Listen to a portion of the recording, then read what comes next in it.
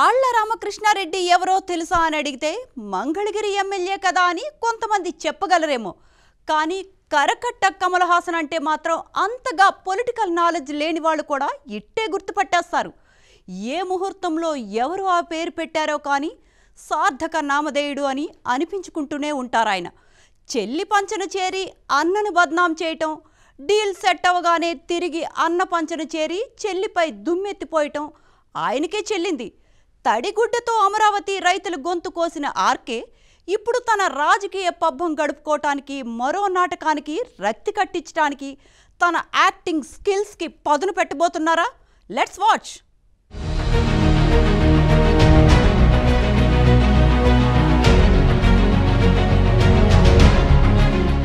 ఐదడుగుల ఎత్తు మొహంలో ఎక్కడా లేని అమాయకత్వం. మాటల్లో అయితే శుద్ధపోసే ఇక యాక్టింగ్లోకి దిగితే ఆయన కమల్ హాసనే ఇలాంటి ప్రత్యేకతలున్న పొలిటీషియన్ ఏపీలో ఎవరబ్బా అంటే ఇంకెవరు? ఆయన ఒక్కరే. ఆయనే కరకట్ట కమల్ హాసన్గా అందరూ ముద్దుగా పిలుచుకునే మంగళగిరి ఎమ్మెల్యే ఆళ్ళ రామకృష్ణారెడ్డి అలియాస్ ఆర్కే.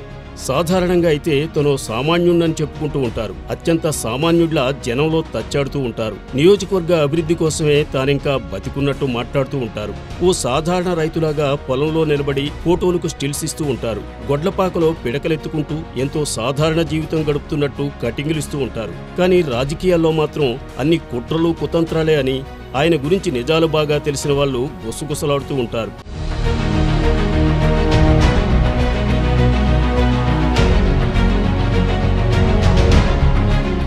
ముఖ్యంగా రాజకీయాల్లో ఆయనకు బాగా కలిసి వచ్చే అంశాలు రెండే రెండు. ఒకటి ప్రజల అమాయకత్వం. రెండు వారిని బుట్టలో వేసుకోగలిగిన ఆయన రాజకీయ నటన చాతుర్యం. ఆ నటంతోనే గత ఎన్నికల్లో రాజధాని ప్రాంతమైన మంగళగిరిలో ఓటర్లను వరుసగా రెండోసారి నమ్మించగలిగారు ఆర్కే. తాను గెలిచి తన పార్టీ గెలిచి రెండు చేతుల అధికారం అనుభవించే ఛాన్స్ వచ్చాక ఇంకేముంది? ఓట్లేసిన ప్రజల్ని వారికి ఇచ్చిన హామీలను అలవోకగా మరిచారు. నంగనాచి మాటలు శుద్ధపూస యాక్టింగులు తప్ప ఈ ఎమ్మెల్యే ఏమీ చేయడం లేదని ప్రజలు గ్రహించారు. అంతే నాలుగున్నరేళ్ళ తరువాత ఎమ్మెల్యే గారు ప్లేటు ఫిరాయించారు. తాను మంగళగిరి ప్రజలకు ఎన్నో ఎన్నెన్నో చేద్దామనుకున్నానని కానీ తన ఆశల్ని జగనన్న అడియాసులు చేశారని తన చేతులు కట్టేసి నిధులివ్వకుండా తనకు మొండి చేయి చూపించి నిండా ముంచేశారని ఇప్పుడు తనకి ఓట్లేసి గెలిపించిన ప్రజలకు తన ముఖం ఎలా చూపించాలని ప్రెస్ మీట్ పెట్టి యాక్టింగ్ ఎరగదీశారు. దీంతో చీకొట్టే స్టేజ్లో ఉన్న ప్రజలతోనే అయ్యో పాపం అనిపించుకున్నారు. ఇదంతా చూసి దట్ ఈజ్ కరకట్ట కమల్ హాసన్ అంటూ ముక్కున వేలేసుకోవడం రాజకీయ మేధావుల వంతైంది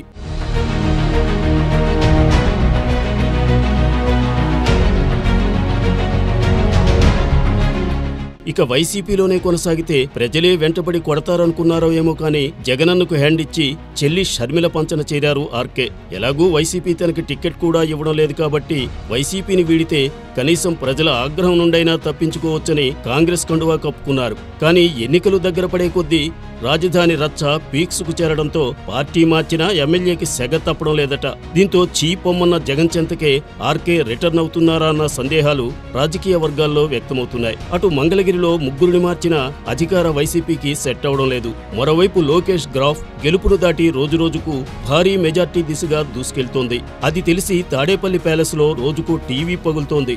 లోకేష్ గెలుపును ఆపలేకపోయినా పరువు కాపాడుకునేలా మెజార్టీ అయినా తగ్గించాలని బాస్ డిసైడ్ అయినట్లు ప్యాలెస్ వర్గాల్లో టాక్ వినబడుతోంది. అందుకే చీ పొమ్మన్న ఆర్కేను ఇప్పుడు మళ్ళీ రా రమ్మంటూ అక్కున చేర్చుకుంటున్నారట.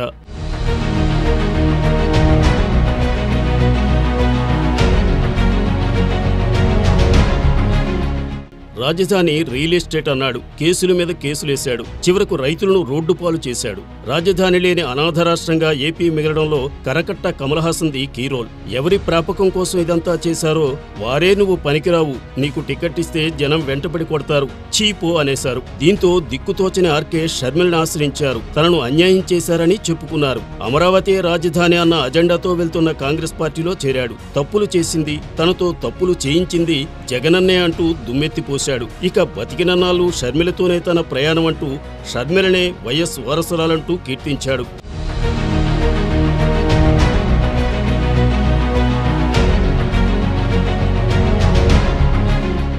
నాలుగు రోజులు తిరక్కముందే తిరిగి పాత బ్యాచ్తో చేతులు కలిపి అదే షర్మిలపై ఆరోపణలు చేసేందుకు రెడీ అయిపోయాడు. అలా తాడేపల్లి పెద్దల్ని కలిశాడో లేదో ఇలా టంగ్ మడత పెట్టేశాడు. సీఎం జగన్ను తిట్టమని కాంగ్రెస్ పార్టీ ఆదేశించిందని తనని రెండుసార్లు ఎమ్మెల్యేని చేసిన జగన్ని తిట్టి పాపం మూటగట్టుకోలేనని అందుకే కాంగ్రెస్ను వీడుతున్నానని చెప్పుకొచ్చాడు. ఏపీ కాంగ్రెస్లో ఒక పద్ధతి పాడు ఏమీ లేదని షర్మిల విధానం సరిగా లేదని అలవాగ్గానేశాడు. మరేమనుకున్నారు? అట్లుంటది ఆర్కే తోటి.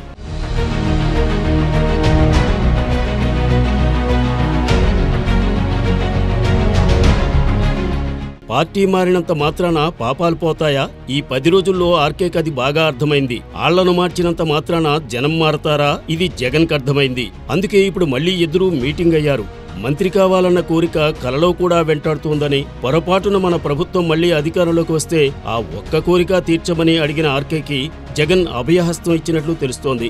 అదే సమయంలో ఇప్పటికే లోకేష్ను ఓడించి జగన్ కళ్ళల్లో ఒకసారి ఆనందం చూసిన ఆర్కే మరోసారి ఆ బాధ్యతలు నెత్తికెత్తుకోవడానికి సై అన్నారట. ఆర్కేని తమతోనే ఉంచుకోవడం ద్వారా ఒకవేళ మంగళగిరిలో లోకేష్ విజయానికి అడ్డుకట్ట వేయలేకపోయినా కనీసం మెజార్టీనైనా వీలైనంత మేర తగ్గించాలన్నదే ఇప్పుడు వైసీపీ వ్యూహంగా కనబడుతోందంటున్నారు రాజకీయ విశ్లేషకులు.